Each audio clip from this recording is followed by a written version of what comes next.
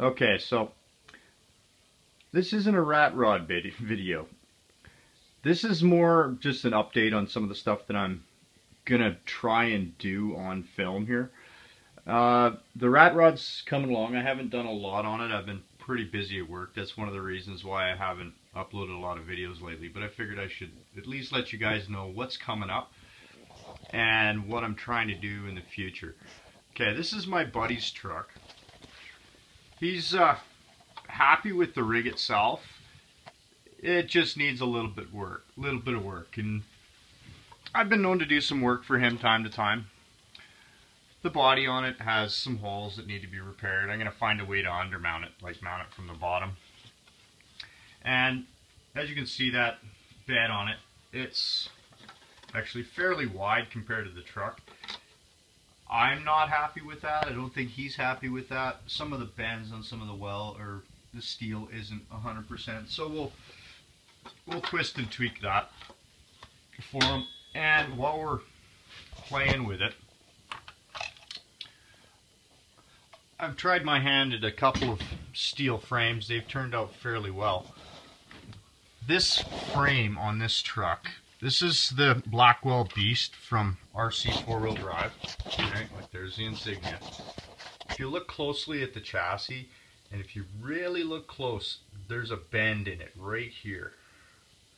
That's because these two screws are way too close together in a piece of aluminum this size.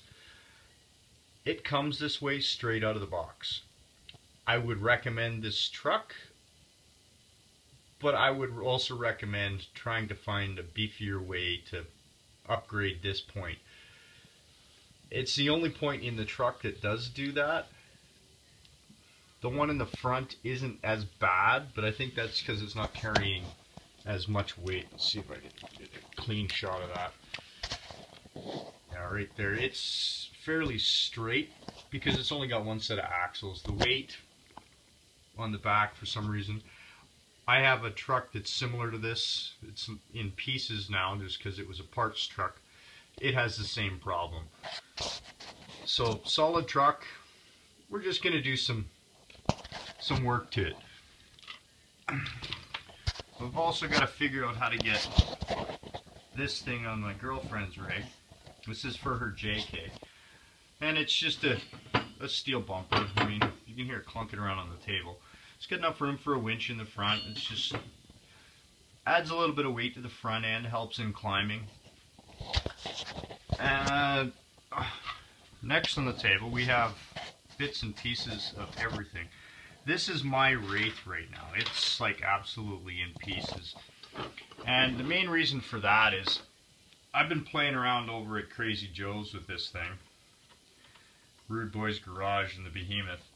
And every time I seem to fall off the track, I land squarely on the stinger. Now this is a solid steel stinger.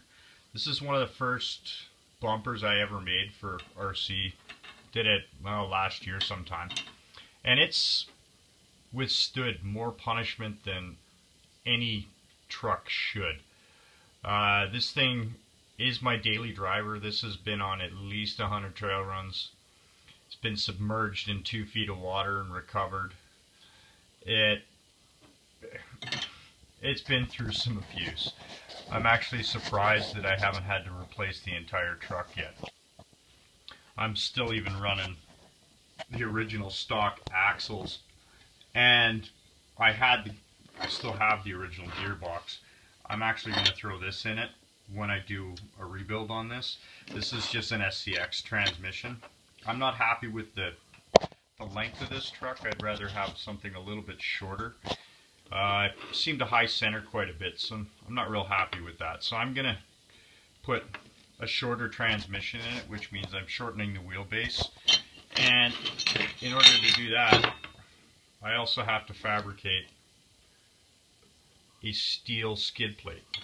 This is more or less just to get some extra weight in the bottom. I like running heavy trucks. They act scale, they don't have a tendency to flip over when you get them in water. This truck will actually do over a foot of water without flipping and still be drivable. Pretty much the way it sits. I mean, there's no electronics in it, but I usually have my electronics up here on the roof rack, like with my receiver and my BEC and everything stays up on the roof rack, and I've got a bag that I cover it. Uh, if you ever seen this Wraith with some stupid looking bag on the roof of it, that's what's in the bag. It's just a receiver pack.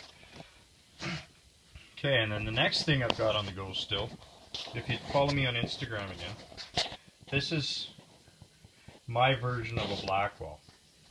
Got two axles up front, steering, and I got two more way down there. Now if you look at this, I'm not sure what height the door handles are at your location, but that's basically the height of that truck. It's going to be an absolute monster. I've already built the cab for this, and if I do the when I do the rest of it on video, I'll show you how I set up the linkages and all the axles, and I'll probably show you some basics of finishing the cab off. Uh, most of the techniques are what I've used on this rat rod already. And other than that, what have I got in the shop right now? I think that's about it. There's a couple little odd jobs that I've taken care of in the last couple of weeks, but right now that's about it.